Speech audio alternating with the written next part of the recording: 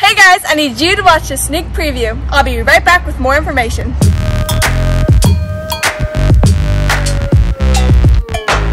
Hey everyone, it's Mallory, and today we're looking at this Kinetic Blue 2017 Chevy Cruze.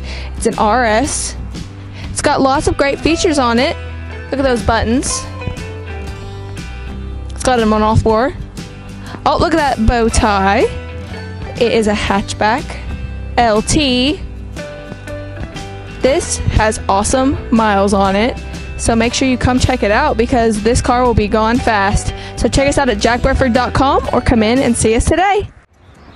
Thanks for watching this sneak preview. For more information, check us out online at jackburford.com.